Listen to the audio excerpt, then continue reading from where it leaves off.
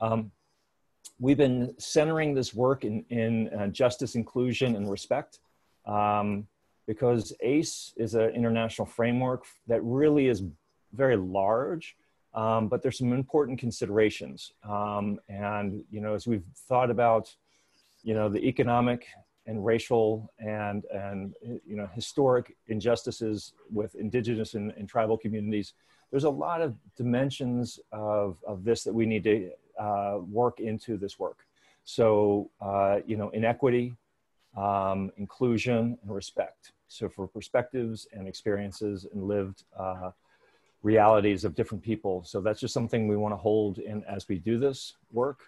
Oops, what, too many. So today we ha I have the great honor of having an awesome panel of leaders in the field who've been looking at, you know, where informal education and programs intersect. Um, so Bernadette Woods Placky from Climate Central, uh, speaking mostly about her work uh, with the Climate Central work. I'm an advisor on that from NOAA. Uh, David Sittenfeld, Manager of Forums and National Collaborations from the Museum of Science in Boston, will be with us today. Um, and uh, you have a range of things you could talk about, David, so full, full go where you need to. Um, uh, Rachel Valletta, hopefully, did I get that right, Rachel? Yes, you muted. did. Uh, I'm good enough. I had to give the thumbs up. okay, thank you. Uh, so, environmental sciences at the Franklin Institute, my home institute in the ASTC community, since I'm a Philly boy. Um, so, Miranda Massey, the director of the Climate Museum. Uh, for full transparency, I'm an advisor on, on that initiative. And then to round out the panel, we have Patrick Hamilton, the director of Global Change Initiatives at the Center of Research and Collections for the Science Museum of Minnesota. So, Patrick, uh, awesome to have you with us. So just some more context, just so we can get into the thing. So um, we have undertaken a ambitious initiative to launch uh, something that uh, is called ACE, an ACE national strategy for the United States. No other major emitting in the country in the world has done this. Other countries have, but no major emitting country. And we feel that th this is an important initiative for us. It's also important that we do our part of the international collaborations on uh, addressing climate change under the Paris Agreement and under the treaty. It's both, not just the, the, Paris Agreement, which we have signed, you know, papers to remove ourselves. We'll see what happens in November. Um, that's not political statements, it's just, you know, reality. So, uh, but there's a process where you have initiation and planning and, and, you know, we're really in the first two phases. So this, I've seen what we're doing today is part of planning we're listening to what is robust in the community that relates to ACE, which is education, training, public access, public participation, public awareness, and international collaboration. I've extended that to national collaboration. So um, this is an undergoing process. We see this as a robust, a valuable thing that we've never done as a community before.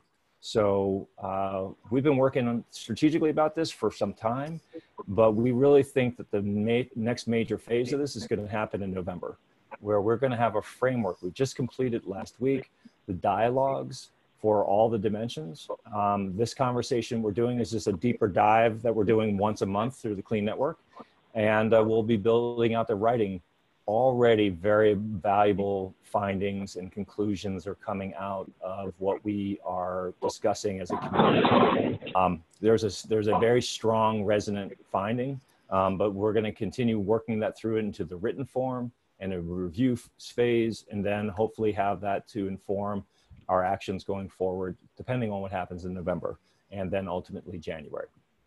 So, um, you know, there's a lot of steps to this process our community has been doing this. This is an international framework the UN has, has sent to the world.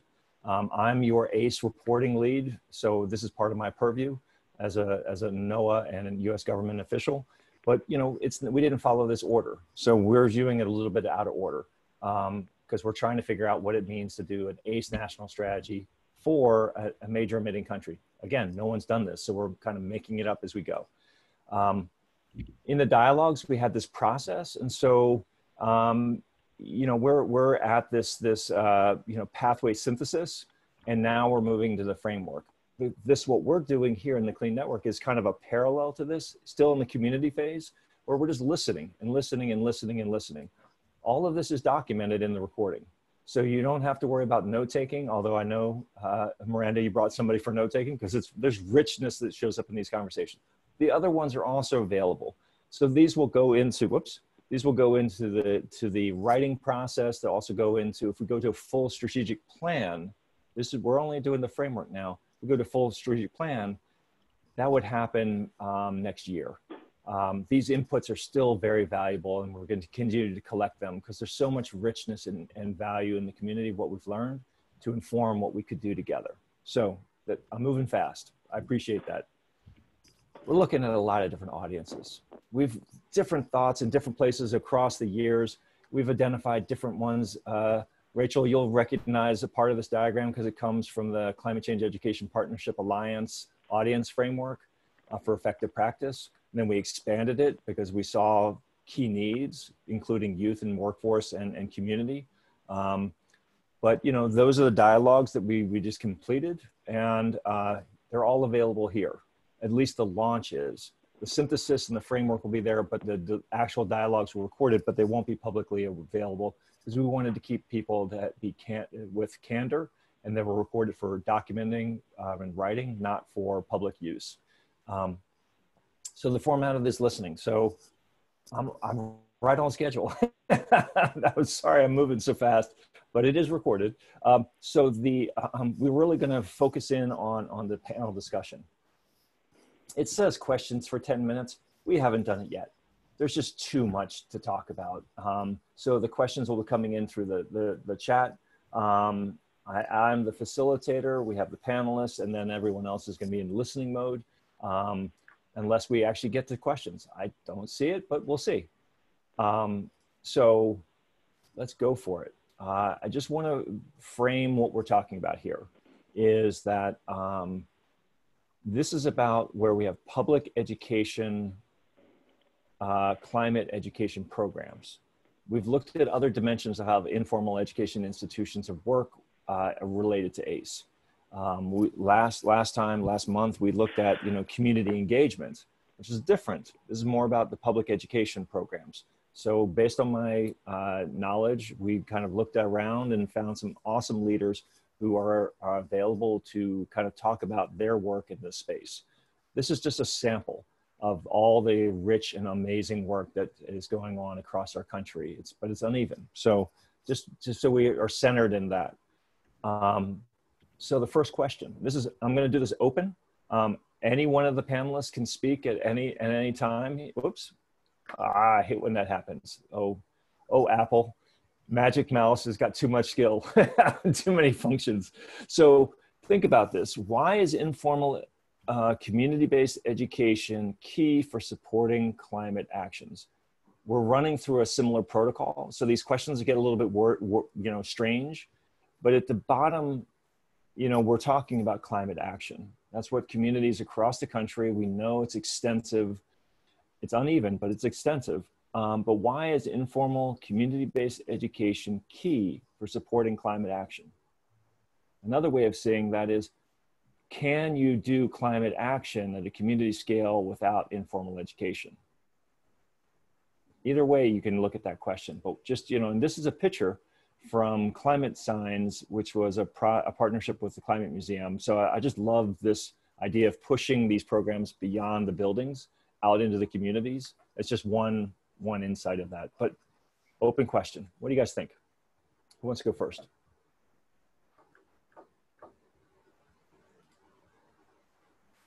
I'm happy to. I'm happy to go first. Um, go for it. Uh, just just in in brief, I think every everybody in the virtual room knows we need a really fundamental cultural shift in the direction of climate action, climate understanding, climate confidence, climate action. We also know from polling that the majority of adults in the US are freaked out but shut down on this. And informal community based education gives people a sense that their action can join them with a meaningful community of action so that sense of being outscaled can start to soften and resolve and you can have a spiral of collective efficacy and and pro-social action on climate and i don't um, I think without community based institutions doing this work informally in popular and trusted settings, um, we won't get that kind of buy in beyond the absolutely necessary climate vanguard um, to which we are adjacent and uh, which we value deeply, but we need a broader community based sense of effective action to take hold. And, and I think um, informal community based climate education is critical to that. That's a great answer, Miranda. I love it. What else? Bernadette? Um, uh, you guys, uh, you know, on the panel, if you just use hand signals, I got gallery view so I can see, you know, like, I got you, Bernadette. What you okay. I, I, didn't know how to jump in. I, there, there it is. Hand signals work. I never wanted to talk over someone. Um, so a, a, couple of things here just to get this going because there's so many ways we can take this question it's such a big one yep first of all, it's a global issue, but you feel it locally and you feel it personally. That's where you do something. Now, your personal actions can build to global actions, but that's where things start. That's where you start to make those connections with what's going on around you and you actually do something about it. Um, so that's one part is that that local level, that personal level is really critical. Two, you know, we most people on this call uh, are well aware of George Mason and Yale's research that they've done and the breakdown of six Americas and the trends and all of that. But the thing we've seen in that is that people are aware something's going on, but they're not exactly sure what and what to do about it. And the majority of people are there. It's just what what is there? What does that mean? What do I do? And unless you can help them understand what that means, they don't know where to go with that. And then another thing is this is such a massive issue. I mean, there are certain things that you can, when you change it, it changes. But with this, we all know this is going to take decades of sustained action to really stabilize our climate. So you need big policy changes, but you also need the public to understand where they fit in and what they can do. I mean, it's going to take all those different levels. So I think it's really critical for people to understand what's going on, where they live, what they can do about it. And that's where informal education really comes into play. I mean, people on this call are involved in formal education, but most of the world moves on from its formal education. And you have to connect with them where they are, where they're living, and what they're doing. Right. Love it. Pat, David? Right. Sure. Uh, well, go ahead, Pat. All right. Thank you, David. So just building on uh, Bernadette and, and uh, Miranda, science museums or museums in general are highly trusted sources of, of information and and in a highly polarized world that we live in, we're one of the few avenues that still caters to a broad range of, of audiences. We did a Six Americas survey of our visitors 10 years ago, and we found no significant difference between the people who visited the Science Museum and the national breakout of the American population across those six Americas. So we have climate skeptics come to the Science Museum in addition to those who are alarmed about climate change. So we can, we can be that venue where the whole range of, of our publics can be exposed to the issue of, of climate change and be that bridge between the global issue and, and local action. Off to you, David. There you go, David.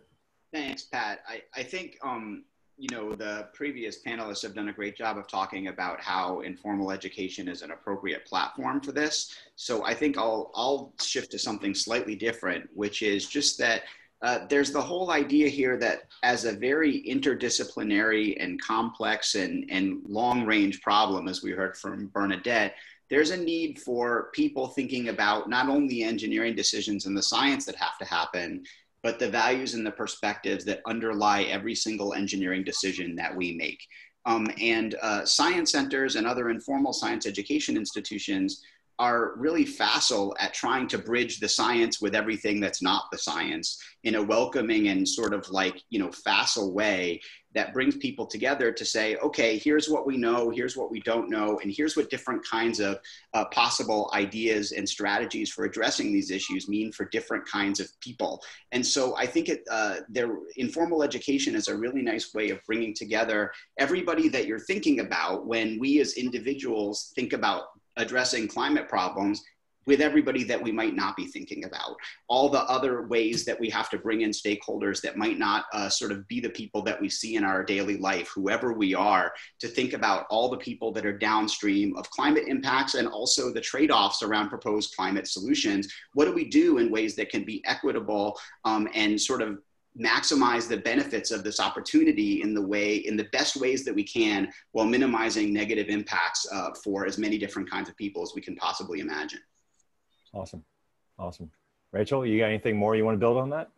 Well, you know, just to synthesize um, everything that's been said already. I mean, we know about best practices in science communication and climate education in informal spaces. We know how to make climate data um, relatable. Um, we know how to make impacts understandable. And beyond that, we know how to connect to our surrounding communities. I think it's really about infusing those efforts now throughout different sectors and be able to reach those different, uh, many, many diverse communities that, that we're trying to scale up to through these efforts. And I think the creativity and the diversity among the programming that this um, panel represents um, is really an ideal um, example of all of the different ways that we can engage with all of these different publics where, where they're at, exactly as Bernadette mentioned.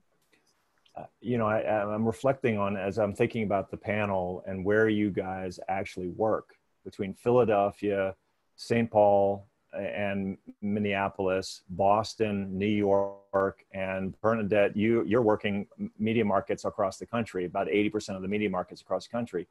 You know, the, maybe we'll put a pin in it to talk about this. Make, let's make sure we talk about when you have robust climate action going on in your community, how does that relate to the work you're able to do in your institution and your programming with the, your publics.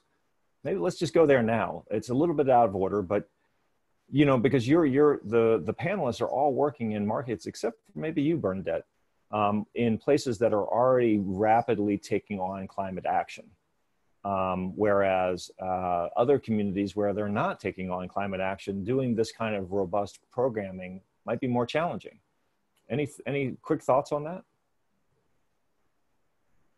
Yeah, yes, we are. So for those who don't know, our model is we're working primarily with TV meteorologists, but we've expand, expanded our scope with journalists at large too. So really the media across the entire United States. We do work globally, but our primary focus is the United States. And it's, it's, it's a twofold audience because we do everything from workshops and trainings and straight through to produced content and data science analyses and and visuals and just answering questions that people might have and how to translate something that they're seeing in their area into a story you know bring the story out in what's mm-hmm. going on. So it's really a wide range. And the thing is our audience is the public, but it's also these trusted messengers, the meteorologists and the journalists.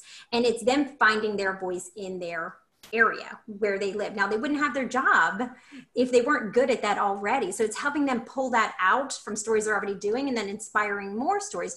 So one of the things that we really focus on and and people say oh well you know is it harder here is it hard we're finding people across the board doing this i, I mm. mean it, it truly is everyone from the most conservative of areas where you wouldn't think the story was happening straight through to the the more liberal climate action places that we're seeing and it's it's how they tell their story may vary, but they're telling their story.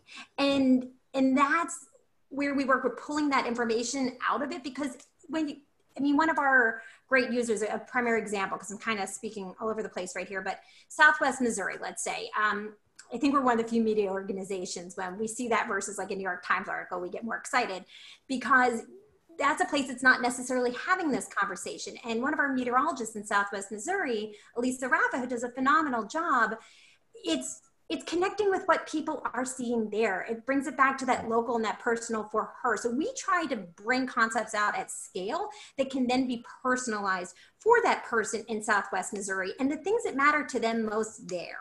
And so that's really the structure that we're working at. And we are seeing it happen in different voices in different ways, but across the country and in, in places where we wouldn't think these conversations are happening, they're happening. And right. Lisa did just tell us recently, you know, going into her Walmart, a couple of farmers who had come up to her and said, Thank you. because no one's talking about this here and we're seeing the changes. So thank you for making the connections for us. And sometimes it's that little simple connection that's really just missing and it helps build that concept of what they're seeing out there with the reality of what's going on. I appreciate that. Anybody else? This this idea of like you know how climate action is working within the communities that you're focused on relative to uh, the programming that you're able to do. Actually, let me add one more thing real quick too, because it's not just location geography. We focus on that too, but it's the people within these places. And we do a lot with the Spanish speaking media. Also, we do all of our translation into Spanish. And it's a different conversation in the Hispanic community. And, mm. and it's, it's trying to tailor that conversation again through solid science and information. But even if it's in the same city where there may be an English speaking media, it's still a different conversation.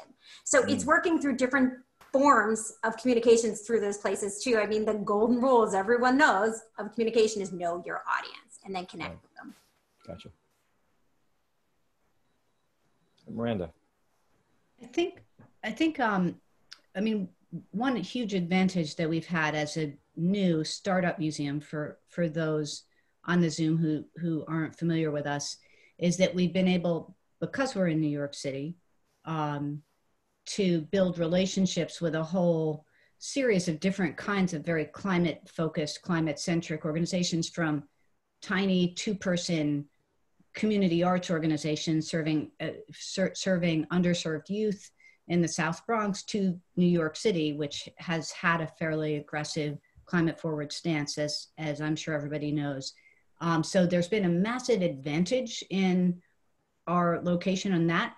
But I also want to say that even and I don't, of course, I don't say this in a spirit of pessimism at all, but just recognizing the challenge that we all face wherever we're operating, getting getting people from being freaked out by the scale of the problem, by its distribution in time and space, as Rachel was highlighting, and silent and shut down, feeling outscaled, to even having a couple of conversations with the people in their lives they already know, trust, feel safe around even that every month we get a new sense of how hard that is so mm-hmm. i think there's a, a fundamental way in which that challenge supersedes the policies of um, climate forward versus not climate forward local governments and the kind of tribalism that we are, are, are now seeing in a really acute way across across the country around is, issues that are wrongly polarized and politicized like climate. So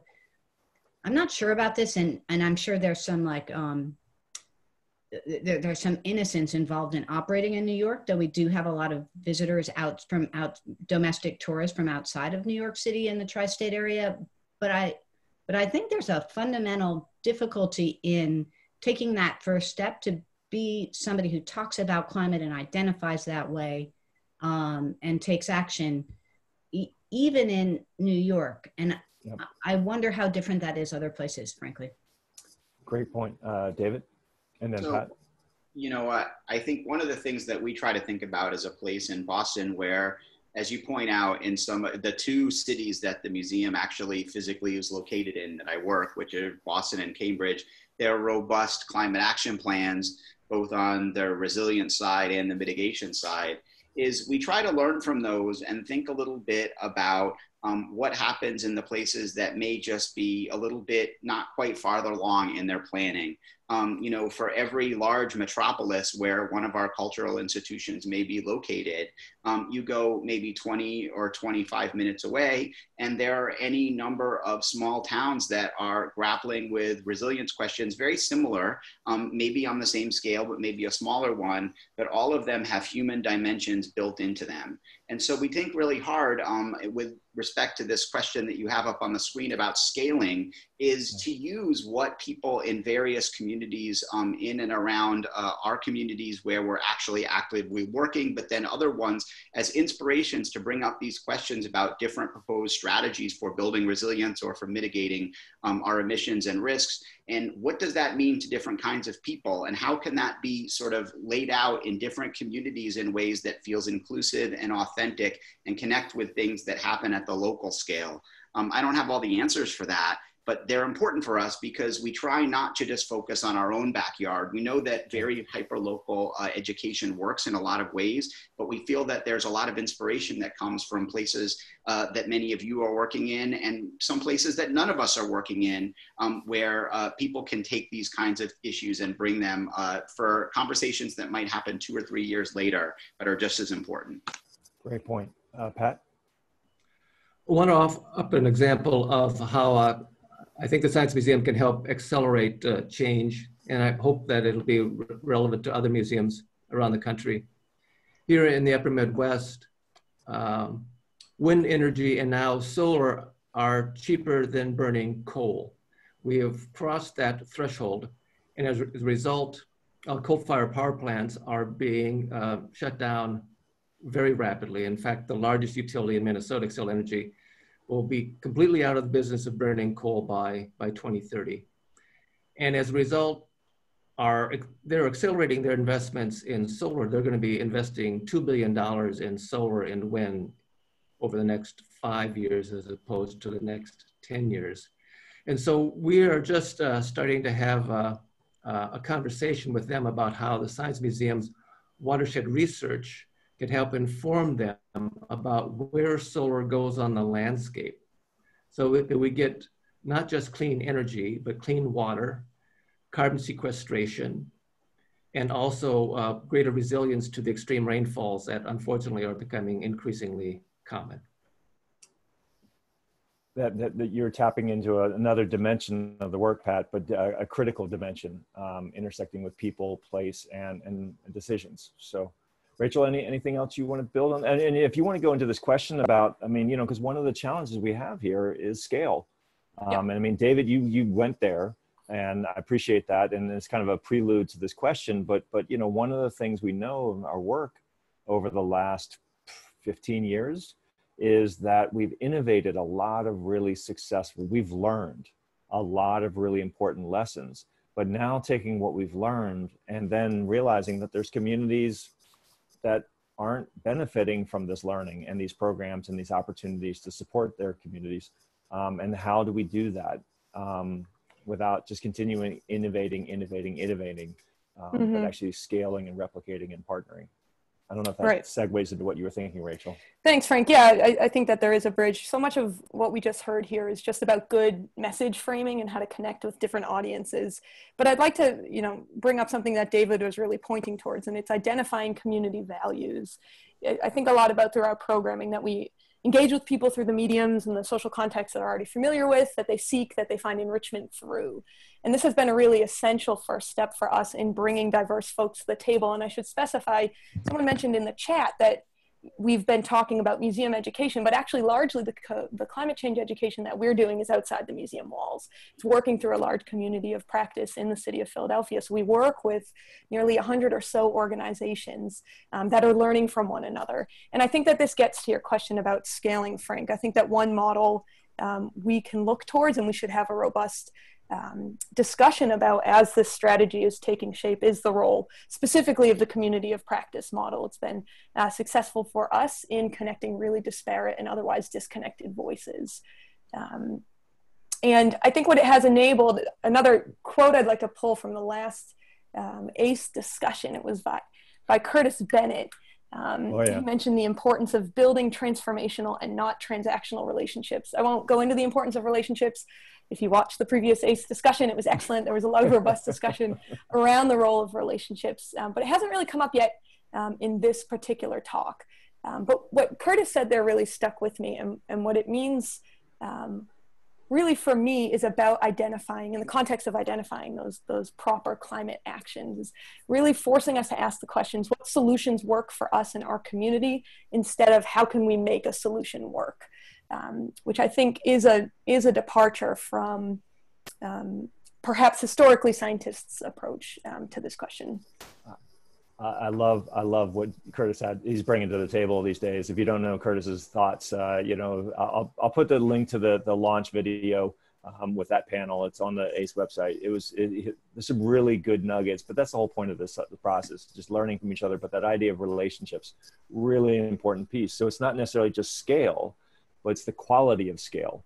Um, you know, it's not just about getting the numbers, and but also, Rachel, that idea of pushing beyond the walls into the community, um, but from the institution, as opposed to getting everybody to come through the door. Um, right, and, and recognize scale is only um, only possible by by forming those foundational relationships first and foremost and that takes you know all of the resources that have have again been enumerated on these calls takes that time and that money and i suspect right. it'll come up again in our question around funding so maybe i'll hit pause yeah. there yeah so if, we if we can sorry i've been totally messing up the slides uh, you know, uh, now we're going to go to this question because this is a really important one, which actually builds on something Curtis was getting at um, because it wasn't just transformational. It was also, you know, because the the how our our work in climate change education, empowerment, um, sports, but inclusive and equitable climate solutions. Because really, Curtis was coming from that place um, in Baltimore. That's where he is with the National Aquarium. Um, but but this idea of inclusive and equitable um, that seems to be a critical piece of this uh, going forward. So, any thoughts about this? I'm sorry, we're segueing, zigzagging a little bit today, but you know, any more thoughts about this this dimension of it?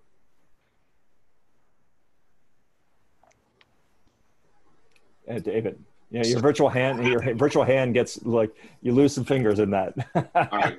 Um, so I, I think it others have talked about this in the chat or, or, on earlier conversations, but I think sometimes it's important for us to consider how we frame the question, not in terms of what we're trying to get out of the conversation or where we're trying to go from a policy perspective, but what range of problems and considerations are people most looking to solve um, at, you know, in any given conversation. And even if the same two people had the same conversation 10 times, they might be coming at it from a different perspective some number of those times because of everything that's going on in their life and the world and, and all the things that many of us are going through right now as a society.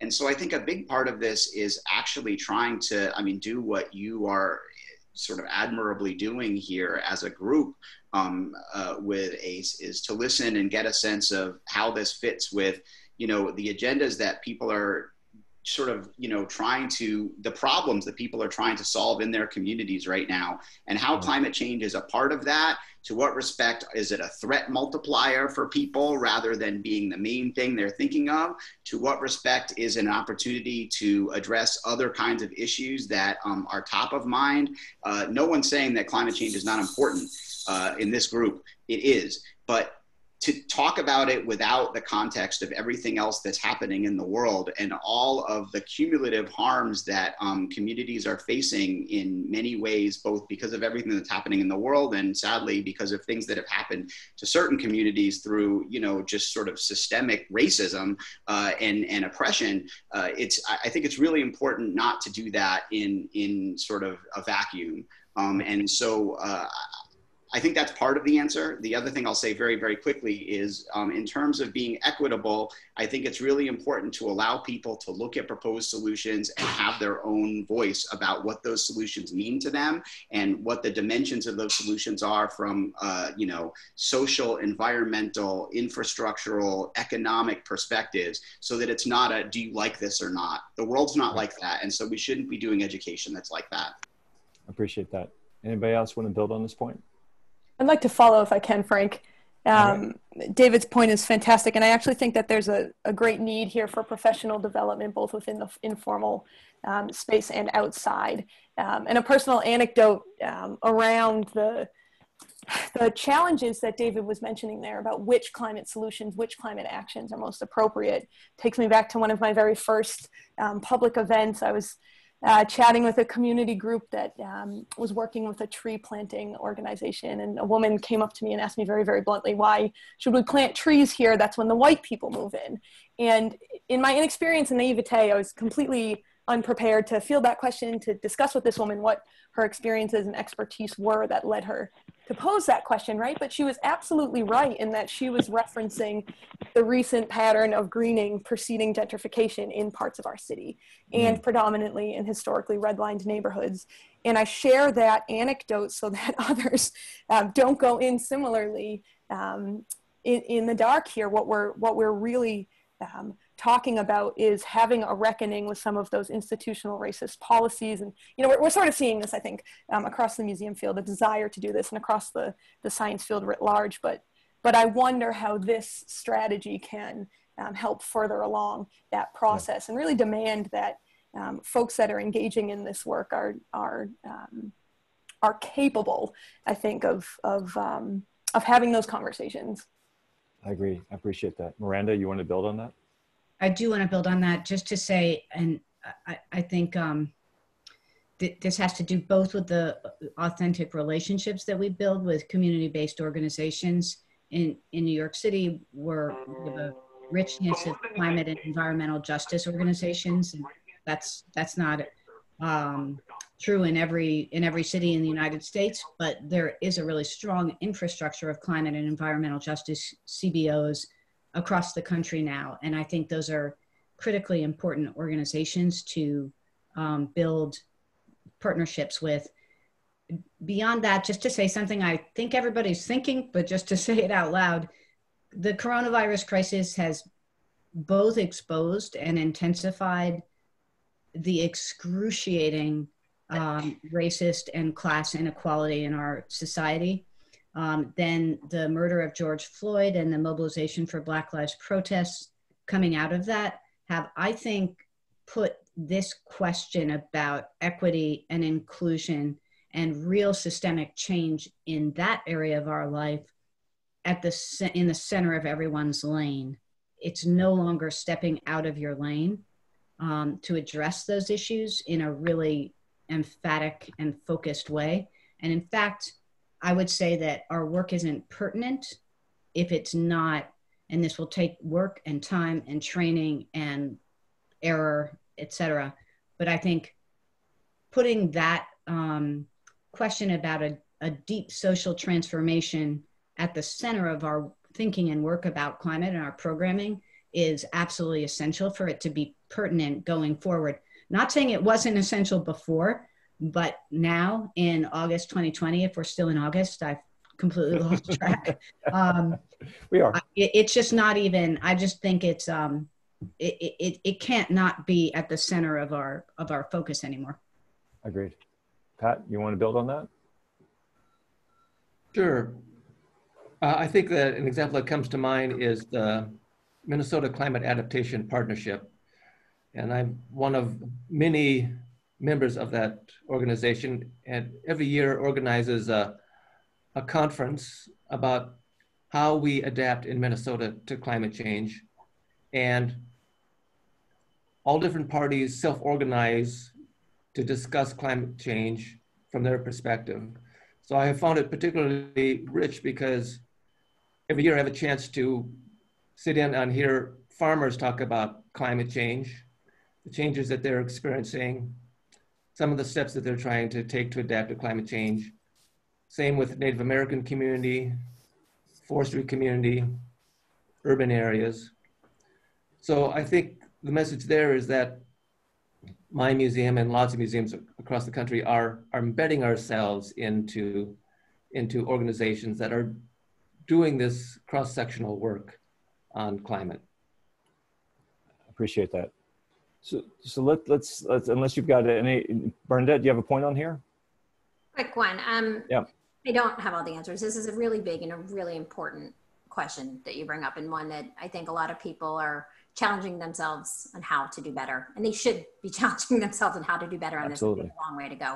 Um, but one thing I would really want to bring to the conversation, just one point is unique collaborations because so often we go to what we're comfortable with in everything in life. And, and as, a couple people brought up, you know, stepping outside of our regular circles is critical, but also bringing those those other circles into ours how and when we can, I think is really important. When you can create collaborations that are rich and different and have different voices in how people look and the things that they're interested in, from urban to rural, from black to white, from you know east to west to, to everything. I mean, there's so many different there's so many things about us that we fall into these pockets of who we are in our comfort zones and this is a time to really push yourself out of that and, and not just listen to people because that's important but bringing them into the conversation in ways that you can i think is, is really really critical right now i, I couldn't agree more I, I, am reflecting on on you know,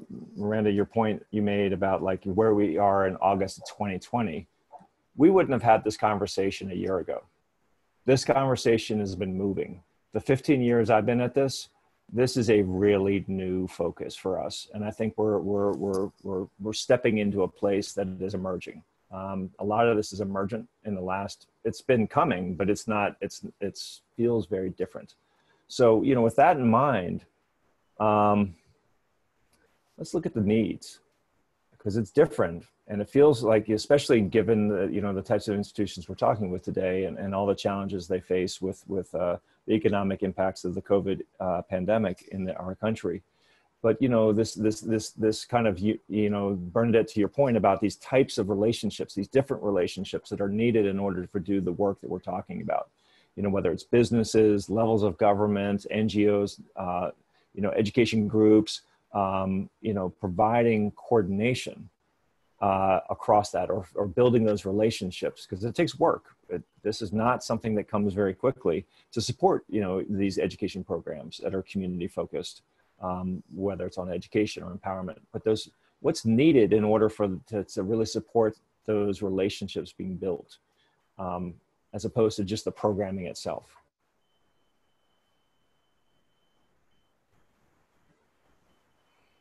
David so uh, I think there are two answers to your question, Frank, or at least two. There, there are lots sure. of answers. Um, one of them has to do with co-creation, right? Um, mm. I think for this really to connect in a way that is going to be, you know, helpful to all of the community-based groups that are working on this already, right? They have they have to see value in the extra sweat equity that comes with doing education around it instead of just the implementation that they're already doing in their work.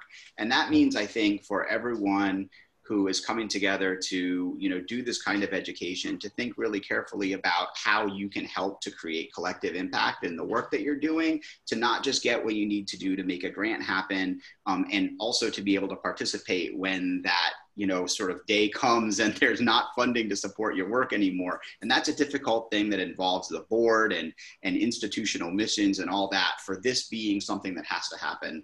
There are some really I think, exciting examples of that on the panel, and also, uh, you know, institutions like the Wild Center that have basically just said, we're going to do this work. Um, it's important for the world that we do it, and it's important for our mission. And so, we're going to try to do our best to be a convener and make sure we understand where the value is for our partners. Um, and I mm-hmm. think the second piece is the implementation, right? It can't just be the educator that is implementing it everyone has to implement it so that the different people know that their efforts are being shared with people that aren't just them and at, aren't at the same meetings. And that means collaborative agenda setting collaborative decision making and education work and then collaborative work for going out and creating action in the community. And that means that you have to think carefully about who's going to have what role and how everyone's going to be equitably sort of involved in the process, reimbursed for their time, but also um, is going to have a voice in sharing it to the com uh, communities that they are most connected to. So Bernadette, I think, is a wonderful example of somebody who is so good at reaching not only diverse publics, but also those professionals that she works with that have a special avenue to the public. And so the idea of thinking really carefully about how all these pieces come together um, and can sort of have a, an impact greater than their component parts is really important in the planning and the implementation. I got you. Others?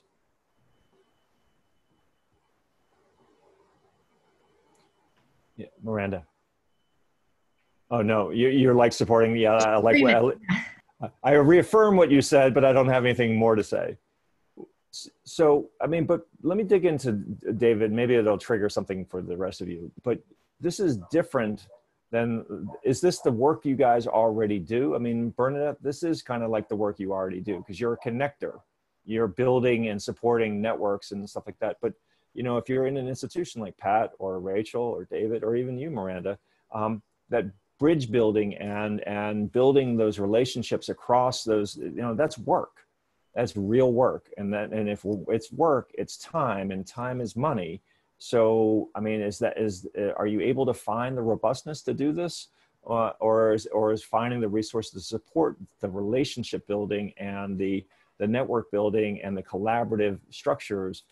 Is that robust enough, or is there is there are there needs? Really, this question's about needs, um, or is there more need in that area than you currently have?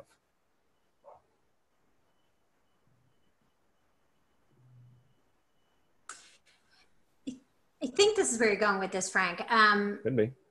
A, you know, Rachel brought up communities of practice earlier, and this. So our whole program is based on collaborations in general. With, I mean, we started this with George Mason. You've been a part of this for so long, Frank. NOAA, NASA, Yale, AMS, and Wendy's on here too. I mean, there, there have been, but that's that's one set when we started this. So who else can can be the voices that you want to add. And, and so it comes back to that concept of trusted messengers and communities of practice. And so it's it's figuring out these these models that work and then identifying the trusted messengers within different areas. Like you said, business. I mean, uh, we know Ed Maibach does a lot of work with the health community. They are trusted messengers. The religious community and everything Katharine Hayhoe does. Um, we primarily, well, one of our major focuses is media, um, but it's thinking about those things that connect us across these avenues. For me, that's sports. I mean, sports is one of those things that brings people together. I sit at my Penn State games with people that do not think the same things I do politically at all. And the thing is, we need to focus on those things and then how do you bring them in so it's meeting people where they are i think in that what connects us first to try and bring those groups together and then take that community practice model and try to apply it. Um, something you had brought up a while ago, uh, some conversation at some meeting, Frank, that it stuck with me was how, you know, Starbucks is doing some great stuff on the sustainability front, but look at the audience they have that they are not connecting with. And so that's a bridge within its own organization that needs to happen. That's great that they're trying to save the coffee bean. It is so important. But also, how many people go through and get a cup that could have something on it that says something that could help move this forward? So there's bridges within structures themselves that I think sometimes need to advance. So, so again, it's it's hmm. not one answer so i don't have a good solid answer but it's those building bridges and challenging yourself to do that to identify either a trusted messenger within your own model um, with, whether it's you guys are really based on this panel with me you know maybe find a sports star in your community who really does care about this. That gets to a lot more people in a different way and a different audience. So, how can you break out into a new audience with a collaboration or with some unique grouping that you can put together in a specific project? Maybe not a long term thing, but a one off. You know, it's those are the ways I think you bring more people into this conversation. Um, food, water, we know these are things that we all care about. Tourism, once we can move again. Um, these kinds of things you know people identify with a certain place or it's it's personal to them for some reason. And so how can you connect with someone from there and bring in the climate angle to it? So I, am kind of speaking in circles circles but it's it, it's coming back to that building the bridges forcing your group to think in new and different ways to bring in those different pieces that can get you in front of a new audience. I got you miranda and, and, I'm concerned that this might be too narrow a response to what I understand your question to be. No, no, it's okay. Go where you need to go. I, I think we we try to focus as an organization for a whole variety of reasons on the social just, justice aspects of the climate crisis, racial justice, intergenerational justice, disability justice, on an international scale, gender justice, and we're working on some programs there specifically but I, I think it's really important to emphasize how much time it does take to build real relationships yep. with the communities of interest um, and the organizations that are leading those communities in doing that work. And that is, um, and it, it, I don't mean this as a gripe, but just as a agenda point for building awareness among funders, that comes across to funders as overhead, yep. the dread overhead line. And that is extraordinarily unhelpful in providing organizations like ours with the ability and to, to, to reach out and to build relationships that are true and authentic and not one off because we got a grant or for just a specific project or whatever. So I think our deepening our relevance going forward means acknowledging the the significance of this relational work and time on its own terms. And um, I don't think from our perspective that has not really started to happen in a significant way at all. And that's a serious problem. Uh, Miranda, you just named exactly what I'm, I'm, I'm seeing. I mean, the reason this question is here is because the, the power of, of these relationships, I mean, as, as Curtis said, transformational relationships, as opposed to transactional relationships, it takes time, but nobody funds them.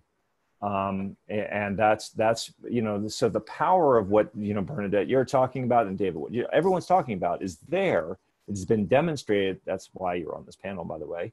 Um, but at the same time, the the the the the value of that reality is not been also turned in from the funders and the you know so it's it's like we'll take the value without actually making the investments to help help that happen um, so that's extractional. Um, and not you know that's an inverted way of thinking about what curtis was saying. So I, i'm right with you. So let you know i'm just going to keep us moving on because here we are. Exactly the same place right? It always gets here. Um, this is our achilles heel. Um, you know funding on this stuff is critically important. We were just talking about it so i figured we just jump here. But this idea of increased versus reprioritized or prioritized meaning that there are already investments out there and how do we reprogram the existing versus um, increase on top of that? I'm not saying you don't you want both but um, how do we maximize you know either increased or prioritized funds to maximize you know uh, these programs effect? That's the short version of it. It's a critically important issue. How? How do we best increase like Rachel, to you got, you got something jump there? in there and not to add um, an asterisk to the length of this question um, but to, to bring it back to previous questions about diversity and inclusion i think yeah. about this a lot and yeah.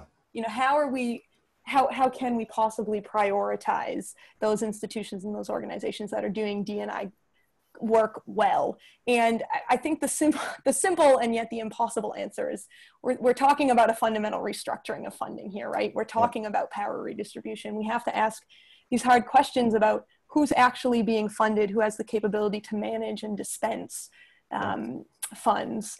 Um, what metrics do we use to initially assess institutional commitment to DNI? Um, how do we tier access for, for, to funding for organizations that are first entering this work versus those that are sustaining um, existing um, existing relationships, existing relevance?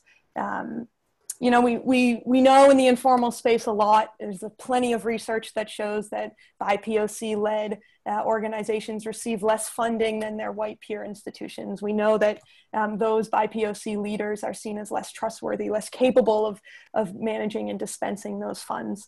Um, and this is really getting down right to the foundational perception of, of who we think will do what with money.